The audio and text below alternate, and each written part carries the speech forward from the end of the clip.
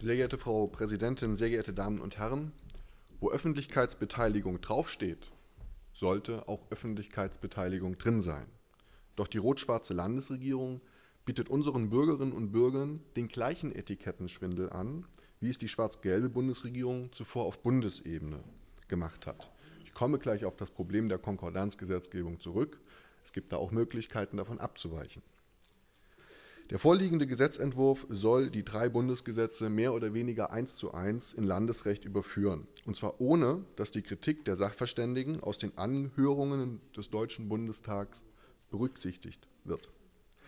Bei den drei Bundesgesetzen handelt es sich erstens um das Gesetz zur Verbesserung der Öffentlichkeitsbeteiligung und Vereinheitlichung von Planfeststellungsverfahren, zweitens um das Gesetz zur Regelung von E-Mail-Diensten und drittens um das Gesetz zur Förderung der elektronischen Verwaltung. Zunächst also zum Gesetz mit dem wohlklingenden Namen Gesetz zur Verbesserung der Öffentlichkeitsbeteiligung. Darin soll angeblich eine frühe Öffentlichkeitsbeteiligung sichergestellt werden. Diese soll laut Gesetzesbegründung in einer möglichst frühen Phase der Planung von Großvorhaben stattfinden und dadurch die Transparenz von Entscheidungsprozessen verbessern und Konflikte vermeiden helfen. Das hört sich alles gut an, das sind wohlklingende Worte, meine Damen und Herren. Aber um diese Ziele auch wirklich zu erreichen, ist die neue Regelung nach Ansicht der Fraktion Bündnis 90 Die Grünen unzureichend, und zwar unzureichend, weil viel zu weich gespült. Ich lese Ihnen einmal den wortgleichen neuen Paragraphen, Absatz 25, Paragraphen 25 Absatz 3 des Bundes und des Landes einmal vor.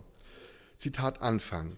Die Behörde wirkt darauf hin, dass der Träger bei der Planung von Vorhaben, die nicht nur unwesentliche Auswirkungen auf die Belange einer größeren Zahl von Dritten haben können, die betroffene Öffentlichkeit frühzeitig über die Ziele des Vorhabens, die Mittel, es zu verwirklichen und die voraussichtlichen Auswirkungen des Vorhabens unterrichtet.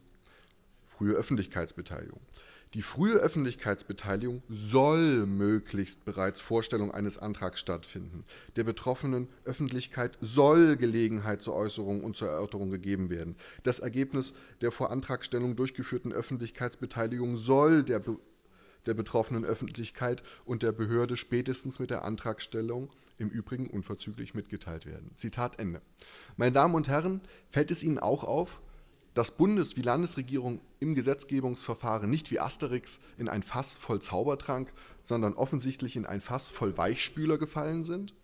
Bei der CDU erstaunt mich das wenig. Erstaunt bin ich nur über die SPD, die sich noch kürzlich auf Bundesebene energisch gegen diese Wischiwaschi-Formulierungen engagiert hat.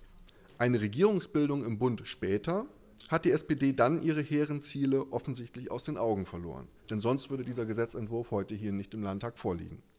Meine Damen und Herren, der Vorsitzende Richter am Bundesverwaltungsgericht, das ist also nicht irgendwer, also der Vorsitzende Richter des Bundesverwaltungsgerichtes Ulf Dom-Görgen, trug in der Sachverständigenanhörung des Deutschen Bundestages zu dieser Vorschrift vor, dass diese weit hinter den Erwartungen zurückbleibe, die Politiker auf dem Höhepunkt des Bürgerprotestes um das Projekt Stuttgart 21 geweckt hätten.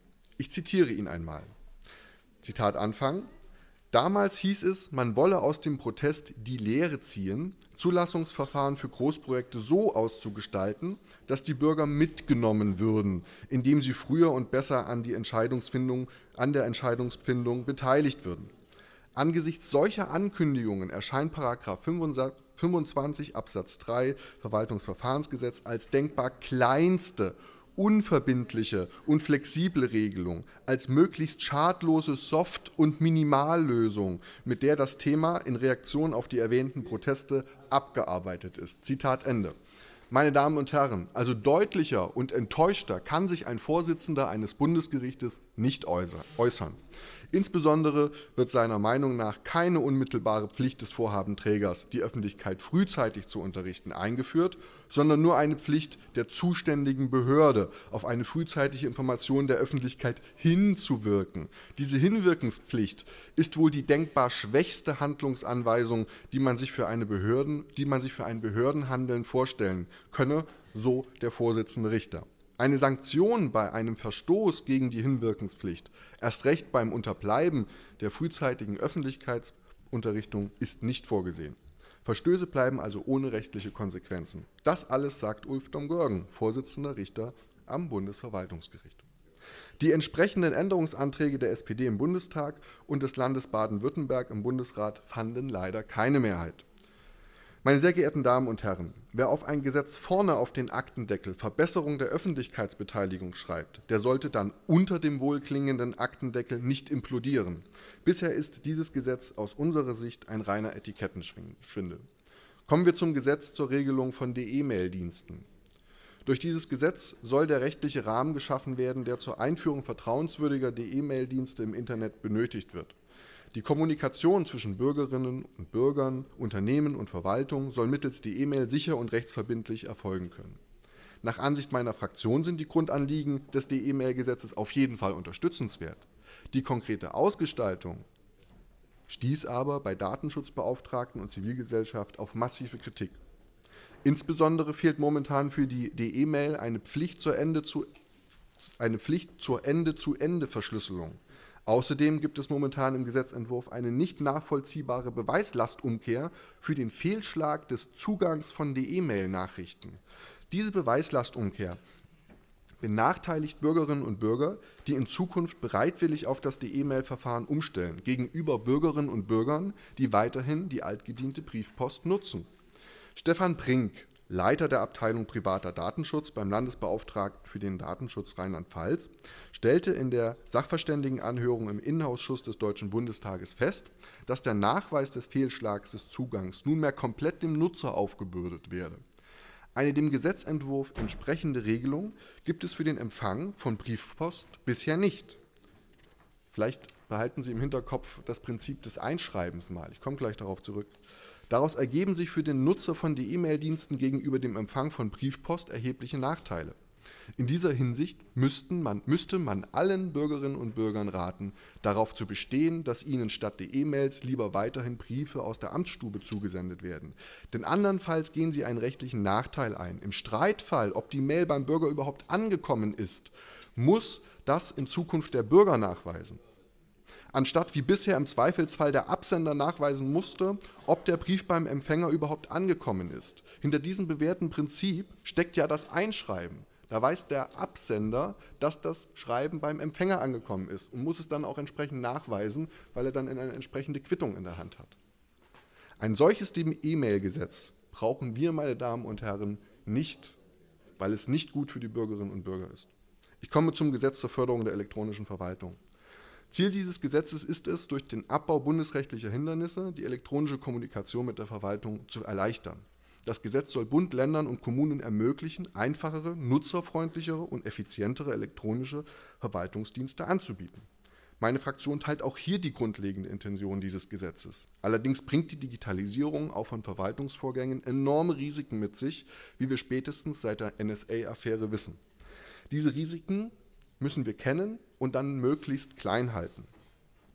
Aber das gelingt dem vorliegenden Gesetz nicht. Ermöglicht wird dort unter anderem die Ersetzung der Schriftform durch die elektronische Form, und zwar zum einen durch die Versendung einer E-Mail-Nachricht und zum anderen durch die unmittelbare Abgabe einer Erklärung in einem elektronischen Formular, das von der Behörde in einem Eingabegerät oder über öffentlich zugängliche Netze zur Verfügung gestellt wird. In der Sachverständigenanhörung im Innenausschuss des Deutschen Bundestags zu dem Gesetz zur Förderung der elektronischen Ver Verwaltung monierte unser Landesbeauftragter für den Datenschutz und die Informationsfreiheit, Herr Reinhard Dankert, dass die DE-Mail keine Ende-zu-Ende-Verschlüsselung der übermittelten Nachrichten biete. Ich zitiere ihn. Zwischen Nutzern und DE-Mail-Dienstanbietern findet somit lediglich eine Transportverschlüsselung statt. Die Dienstanbieter haben jederzeit Zugriff auf die zur Entschlüsselung nötigen Schlüssel und somit die E-Mails zumindest kurzfristig zu entschlüsseln. Das E-Government-Gesetz soll aber ausdrücklich Verfahren der Steuerverwaltung und der Sozialversicherung unterstützen. Insbesondere in diesen Bereichen sind Nachrichten mit hohem und sehr hohem Schutzbedarf in der Vertraulichkeit nicht selten. In diesen Anwendungsfällen ist der Einsatz von Ende-zu-Ende-Verschlüsselungsverfahren angezeigt, weil sie die Kenntnisnahme von Nachrichteninhalten bei den DE-Mail-Providern technisch ausschließt. Zitat Ende von unserem Herrn Dankert. Ich will das Problem nochmals in anderen Worten kurz zusammenfassen. Hochsensible Daten der Steuerverwaltung und der Sozialversicherung sollen in Zukunft per DE-Mail versendet werden. Dieses Format stellt aber nicht sicher, dass nur Absender und Empfänger die Inhalte lesen können, sondern es findet nur eine Verschlüsselung bis zum DE-Mail-Provider, Anbieter statt. Das heißt, die E-Mail-Anbieter wie GMX, Web.de oder die Telekom können diese Daten lesen, weil keine durchgängige Verschlüsselung stattfindet. Meine sehr geehrten Damen und Herren, wir sollten wenigstens auf die berufenen Sachverständigen aus dem eigenen Land hören. Und nach denen gibt es an diesen Gesetzen noch viel zu tun. Die Landesregierung sollte sich nicht hinter dem Etikettenschwindel der damaligen schwarz-gelben Bundesregierung verstecken. Wir Grüne sehen also erheblichen Nachbesserungsbedarf. Dabei darf uns auch die sogenannte Konkordanzgesetzgebung, die aus dem Jahr 1976 stammt, nicht abschrecken. Juristisch notwendig ist die Einheitlichkeit der Verwaltungsverfahrensgesetze von Bund und Ländern nämlich nicht. Sie ist zwar wünschenswert, sie ist aber nicht notwendig. Es gibt aber auch noch andere Möglichkeiten, die einerseits eine einheitliche Gesetzgebung wahren, andererseits unterschiedliche Wege bei der Öffentlichkeitsbeteiligung in Land und Bund ermöglichen.